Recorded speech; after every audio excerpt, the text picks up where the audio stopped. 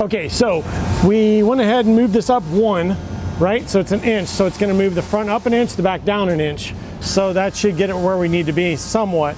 Then, and this looks nice and level too. What I went ahead and did was I raised these bars up as well. So I've got them from about five inches, five, six inches to just under three inches showing on each side here. Now let's see how this impacted the trailer and see if we're still riding fairly nose down or if we've got it almost back to level. Let's take a look at that first, then we'll look at the uh, truck and see how it sets. So follow me over here. So for this thing to set level, it was 23 and 23. So we are at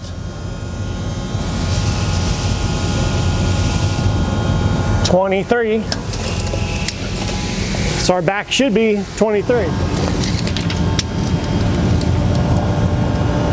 All right, so we're just a little over 23 here in the back, which is fantastic because that's gonna give us a little bit more room that we can move up there without taking this thing from being parallel to the ground. So let's head right back up front here and I'll show you what we're gonna do.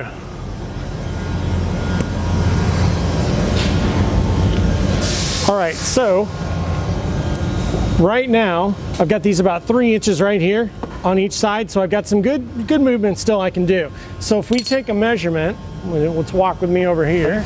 All right, so we're gonna do a measurement on the front here just to see where we're at to kind of get an idea how much more we need to weight distribute or not. Let's check it out. So our original measurement with it unhitched was 37. So we are now at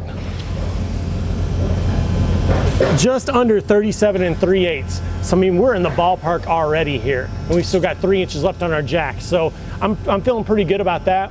On a half ton, we'll probably try and get it reloaded all the way. Usually that's the case, um, but uh, you know, it, it varies. Um, you can kind of base that on the feel, but we want to try and get this within about a half inch. We can check out the back here. It's not as important. And we started out in the rear at 38 and we're like 35 and 5 eighths right now. So we've got some pretty decent squat in this, which we knew was gonna happen because we've got some pretty decent tongue weight going on back here. So um, the front end is almost reloaded. We're gonna bring up the weight distribution bars a little bit more to try and see if we can get that recovered and get this up a little bit, but uh, man, we're looking pretty good here.